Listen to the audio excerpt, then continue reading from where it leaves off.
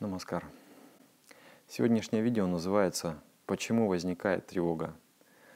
Время от времени люди испытывают это тревожное чувство. Я думаю, каждый из нас хотя бы несколько раз в жизни он пережил это ощущение. Это такой тремор в самом центре груди. Вот здесь вот йогическое сердце находится, анахата чакра. И вот там мы испытываем вот это вот дискомфортное чувство. Оно такое угнетающее, неприятное чувство. Вот. Когда у людей это свойство не под контролем, оно доставляет разные проблемы. То есть, может быть, негативные мысли возникают, они одна за другой, ты фантазируешь на тему негативных вещей, и ничего не можешь с собой поделать, просто это лезет, лезет тебе в голову эти мысли. Может быть, а, бессонница, то есть ты просто не можешь уснуть, и вот ворочаешься с бока на бок, а ничего не происходит, ты не засыпаешь. Вот. Ну и вообще в целом это неприятно, даже если в повседневной жизни оно преследует людей и днем, и ночью, это чувство и днем. И оно парализует, то есть когда ты вот в этом состоянии, в, это негативное состояние ума, а, вот в этом негативе у тебя, то есть оно а, отцепляет, оно создает блокаду вдохновения. То есть, когда ты тревожишься, какое вдохновение? Нет вдохновения. Соответственно, ты становишься беспомощным. Соответственно, ты становишься неэффективным в жизни. Поэтому понять нужно причины вот этого вот чувства, тревожности и понять, как его преодолеть можно, это чувство. Вот об этом сегодня будем говорить. А, Но ну, нужно понимать, что это вритти или свойство, тенденция ума, которая расположена в анахата чакре. То есть это чувство базируется здесь, в центре груди. И это чувство возникает только тогда, когда анахата чакра становится слабой, когда она становится обесточенной, то есть если произошла растрата энергии из анахата чакры, тогда на следующий день, пожалуйста, ты получаешь результатом депрессию, ты получаешь результатом вот эту тревожность. Как может произойти растрата? Когда происходит мощный выброс эмоций. Когда мы выбрасываем эмоции в позитиве, энергия, она негативная, позитивная, нету такого. Она энергия, да, и она, если ты ее сбросил, эту энергию, потом ее не хватает, и тогда свойства вот эти вот а, ума, они начинают выходить из-под контроля. Как бывает? Вечером сидишь, ха-ха, хи-хи. То есть очень-очень здорово общаешься. У тебя анахата чакра простимулирована общением, душевностью, у тебя там окситоцин выделяется литрами, ты доверяешь другим людям, тебе прям вот, вот ага, ты весь мир бы объял, да, вот это вот ощущение. Вот. Но это нужно чувствовать интуитивно, и из опыта нужно просто наблюдать за собой. Ты понимаешь, что вот сейчас я перехожу предел, я перехожу грань. Дальше это мое состояние становится, то есть из гармоничного состояния вышли в дисбалансированное состояние. И вот ну, очень кайфово в этом дисбалансированном состоянии. Ты уходишь в крайний, в крайний плюс. Утром ты просыпаешься, что будет? Эмоциональное похмелье эмоциональное похмелье, а это депрессия и тревожность. Поэтому наши бабушки, ну вот моя бабушка, она мне говорила, не смейся, завтра будешь плакать. То есть э, тебе нужно немножко сдерживать себя. То есть ты понимаешь, все, я пошел в разнос. Потому что завтра будет депрессия, завтра ты будешь неэффективным. То есть э, энергию сдерживать. А, также может энергия расходоваться, например, через болтливость. Ну вот, в моей жизни, да, не то, что там я болтлив, но а, мне нужно лекции постоянно давать. Вот. И когда ты даешь лекции, и особенно ты, когда себя вовлекаешь очень сильно эмоционально да, в этот процесс, ты себя выжигаешь эмоционально. Если ты, допустим, даешь лекцию там, раз в три дня, окей. Но если ты даешь ее каждый день, это очень сильно тебя выжигает. Я вообще всегда думаю о учителях, которые работают в школе. И я просто вот, ну, склоняюсь перед ними, падаю ниц, потому что это абсолютно святая профессия. То есть это... Я не представляю, как 6 часов в день, каждый день работать с детьми и действительно доносить их какие-то знания. Мы должны целовать стопы наших учителей, которые за свои небольшие зарплаты, они ходят и делают из нас людей. Это ну, просто нереальное служение. Это очень-очень святая профессия. И на самом деле это тебя очень сильно истощает, да, твою, твою энергию. Вот, поэтому вообще люди, которые как разговаривают, да, это их профессия, вы найдете, что они любят уединиться и молчать. Сидеть, потому что они хотят восстанавливать свою энергию. Вот это еще один момент. Поэтому чем больше молчишь, тем больше у тебя сохраняется твоя энергия. Есть практика такая мауна, мауна, маунаврата, то есть э, не произносить вообще слов. Накапливает столько много психической силы, что потом, когда ты что-то говоришь, это производит эффект на других. Выплеск энергии. Те же люди, которые чирикают постоянно, ча ча ча ча ча ча ча что бы он ни говорил или что бы она ни говорила, эффекта никакого нет. Потому что силы это нет в анахата чакре. Вот здесь. Вот это еще один. А потом свойства надежды и свойства тревоги взаимосвязаны. Они работают в паре. Это две стороны одной медали. Есть надежда, будет и тревога. То есть надежда, она в плюсе, тревога в минусе. И постоянно ты вот идешь между двумя этими состояниями. Надеешься, ты думаешь, все получится, тан -тан -тан -тан, и это тебя сподвигает, мотивирует. Потом раз перевернулся ум, и ты думаешь, ничего не получится. Вот это может произойти, вот это может произойти, вот это может произойти. И ты себе напридумываешь много-много-много всего. В надежде ты тоже там напридумываешь себе много всего.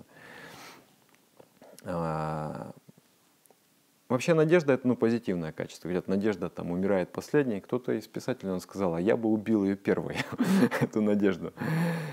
И, то есть пока живет надежда, ты живешь, у тебя есть мотивация двигаться. Но на самом деле будет более мудрым а, искать мотивацию выше. То есть вот эту надежду можно переплавить из материального, материалистического чувства, его можно превратить в чисто духовное чувство. И тогда вот это вот тревога, она тоже превратится в чисто духовное чувство. Мне понравилось, как-то э, смотрел я фильм, называется «Властелин колец». Шикарнейший фильм, абсолютно. Вот потом вдохновился и книгу прочитал. И там был персонаж позитивный, Арагорн. Ну, прям человек-мечта. Вот. И он прям вдохновил меня, духовно вдохновил. Вот. И он говорил такую фразу. Он говорил, я даю надежду людям, я не оставляю ее себе. Я сначала-то и не понял, что имеется в виду. Но меня так зацепило, я думаю, что это значит? А потом, когда до меня дошло, я думаю, вау, это же мощно. Я даю надежду людям, я не оставляю ее себе. То есть вот то, что я делаю, я делаю не потому, что я на что-то надеюсь, а потому что это мой долг. Я выполняю свой долг. И пожну ли я лавры победы? Буду ли я как говорится, со щитом или на щите, погибну я, страдать буду или пожну лавры победы. Я знаю, что это есть мой долг, и он должен быть выполнен. И я даю надежду людям, я не оставляю себя. Вау. Вот это да. Вот это вот вау. Вот. И вот когда человек живет осознанием своего долга, но не в том смысле, как, знаете, вот есть вот долг, да, должен ты работаешь на нелюбимой работе, ты вообще делаешь абсолютно нелюбимые вещи, ненужные, и ты думаешь, что это долг твой. Это не долг. Долг — это твое призвание, которое идет из, изнутри, из глубины самого-самого твоего сердца. Ты это делаешь, потому что ты глубинно знаешь, что я должен это сделать. Вот когда тебя это мотивирует, у тебя сердце остается сильным постоянно. Вот, поэтому считается, что одним из э, качеств святого человека является Аша Паша Венермукта. Он навсегда оставил оковы надежды. Навсегда оставил. Он больше не надеется, ни на что не надеется. Парадокс? Парадокс. Но правда. Могут быть чисто физические причины – вот четыре в рите, да, четыре характеристики животной природы в каждом из нас есть. То есть мы одновременно и рептилия, и животное, и все это внутри нас сидит, все эти формы жизни. То есть мы эволюционировали из этих форм жизни, поэтому это внутри нас сидит. И у всех живых существ у них присутствует четыре. Ахара, нидра, бая, майтуна. Еда, сон, страх и размножение – вот четыре инстинкта.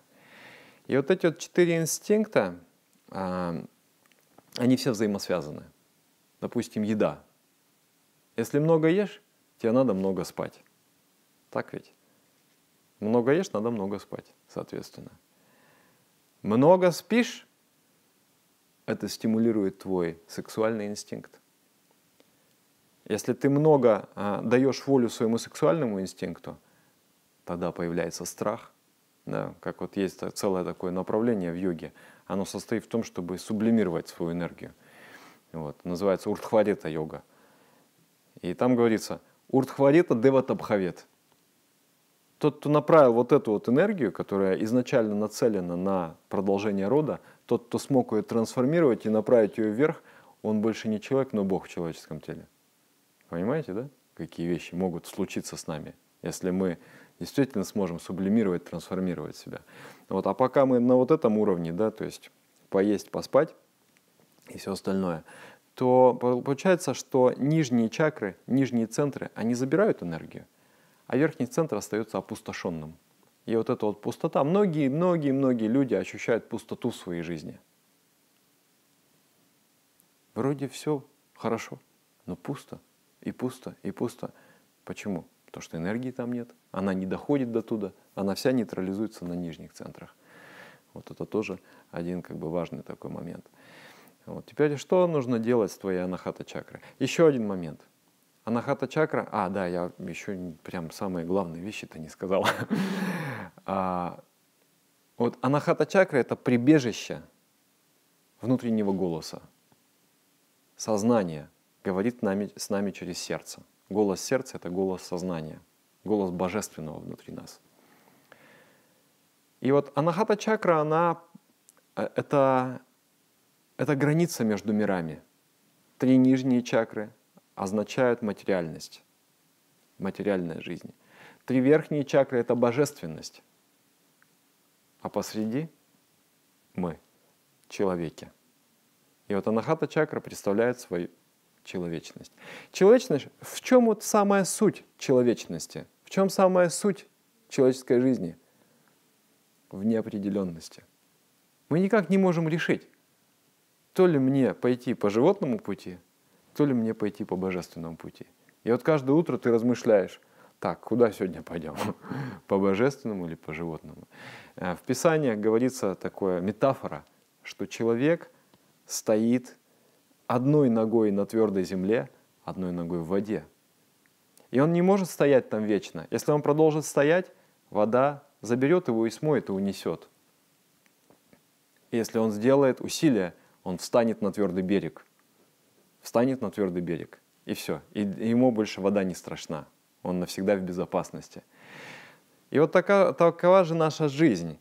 То есть ты материальность внутри тебя присутствует, животность внутри тебя присутствует, и она там голосует в твоем парламенте. То есть вода постоянно течет, она пытается утащить тебя с собой. Вот, но опять же, есть внутри тебя божественность, и ты прилагаешь усилия, встаешь на твердую почву. И вот а внутри вот этого анахата чакры есть вот эта вот тенденция, голос сердца или совесть наша.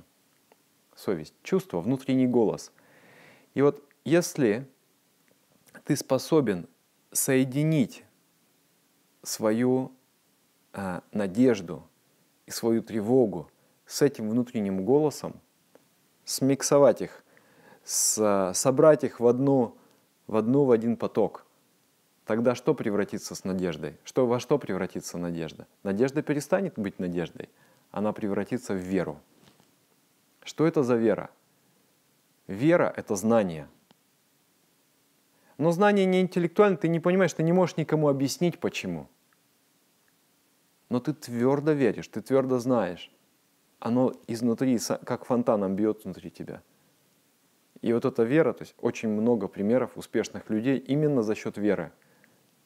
То есть каким-то образом вот они знают свое предназначение, слушают свое сердце и просто идут за голосом своего сердца. Они знают, что это есть моя судьба, и я обязан осуществить эту судьбу. Что будет с тревогой? Тревога превратится в мечту, в видение. Этому миру чрезвычайно не хватает визионеров. То есть те, кто смогут увидеть будущее. Как это, знаете, кто он? А, Мартин Лютер Кинг. Да? Он... Мне вообще нравятся вот, ораторы – то есть вот любо-дорого посмотреть, вот кто хороший оратор, мне прям нравится. И вот этот Мартин Лютер Кинг, он выступал, и у него вот это знаменитое выступление, он говорит, I have a dream. У меня есть мечта. Я был там. Я был на вершине горы, и я видел.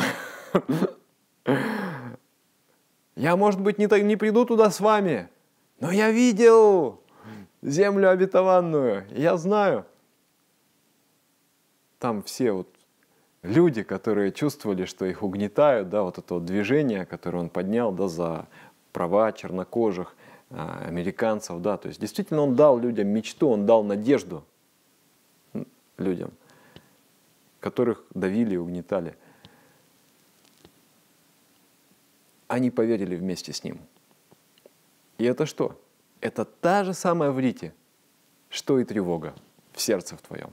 Но когда она материалистична, когда ты не слышишь голос своей души, она превращается в тревогу. Ты думаешь, думаешь, думаешь, думаешь, думаешь, ты создаешь много видений, ты создаешь много картинок, но при этом все эти картинки деструктивны, они только твой разум туда, вниз заставляют двигаться. Но когда твой э, ум соединен с твоим сознанием, с твоей вот этой внутренней совестью, с твоей внутренней способностью а это на самом деле внутреннее зрение. Видеть истину. Тогда ты видишь мечту. Ты видишь мечту, ты визуализируешь эту мечту, ты понимаешь ее, и ты идешь к этой мечте как метеор. Вот оно что. И если вот у тебя вот это, ты мечтатель, как знаете, вот Битлз поют, да? I'm a dreamer. вот эта песня есть. Представьте, э, что нет чего-то там. Что того и того ничего плохого нет, все хорошее есть. Вот. Вы можете сказать, что я мечтатель, но таких много, таких как я, и э, присоединяйся к нам, и мы действительно можем это сделать вместе. Вот. Тогда вот э, анахата чакра находится в позитивном. Поэтому, по сути, как бы весь выбор жизни состоит в том, чтобы встать на берег. И опять, что я вам скажу? Семь бед, один ответ. Надо медитировать. Правильно? Вы уже догадались. Потому что а, когда ты медитируешь, ты действительно вот это свое сердце, то есть ты свой ум а, подключаешь, ты присоединяешь его к божественной сфере. И там, ну просто это как, даже интеллектуально ты это не понимаешь, не объясняешь, но просто когда ты сидишь в медитации, что-то начинает тебя изнутри распирать, твой дух – и тогда приходит у тебя, вместо тревоги, тревоги у тебя приходит это видение. Ты вдруг увидел, все распахнулось перед тобой, и вдохновение. Вау, вон оно как. Все, идем. И тогда тебе некогда волноваться о своем маленьком эго, о своих маленьких проблемах. Ты вот просто идешь туда, вперед к тому, что ты увидел. Понимаете? Вот. Ну а э, это вот поэзия, а проза — это что нужно асаны делать асаны. Особенно вот позу кобры, буджангасана, очень важно для снятия вот этой тревожности. А, особенно там, э, ну, асаны для анахата чакры. Халасана помогает, поза плуга, а, поза создания идей, пхавасана. А, да, ну вот эти вот в основном асаны. Поза скручивания, матсиандрасана тоже влияет на анахату. Вот. И очень-очень важны танцы йога-танцы. Танец каушики важный. То есть ты, когда его танцуешь, прям позитив тебя начинает переполнять. И танец тандова. Тандова исключительно для мужчин. Для мужчин. Но танец тандова, он перенаправляет. У меня нету на канале еще, я думаю, запишу в ближайшее время этот танец какого-нибудь брата поставлю и скажу, давай, делай. Вот и запишем. А, он для мужчин, и вот этот танец, он настроен на то, чтобы поднять жизненную силу твою из нижних центров в верхний центр. И когда это происходит, особенно когда это первый раз с людьми происходит, и он первый раз ощутил вот это вот могущество его сердца, его анахата чакры, вау, это прям взрыв. Вот. вот эти вот вещи нужно делать, и будет хорошо. А голодание. Голодание очень сильно прочищает сердце когда ты один день воздерживаешься от пищи, воздерживаешься от еды, ну, если здоровье позволяет, естественно, а прям прочищается твой ум, прочищается твои мысли и твое сердце. И у тебя была вот такая вот вялость, никакой решимости внутри тебя не было, и вдруг раз четкость приходит и решимость. Я все смогу. Вот, вот эти вот все йоговские методы, они нужны для того, чтобы преодолеть тревожность. И будет счастье, и будет мечта, и будет совершенный мир, который мы вместе построим. Намаскар.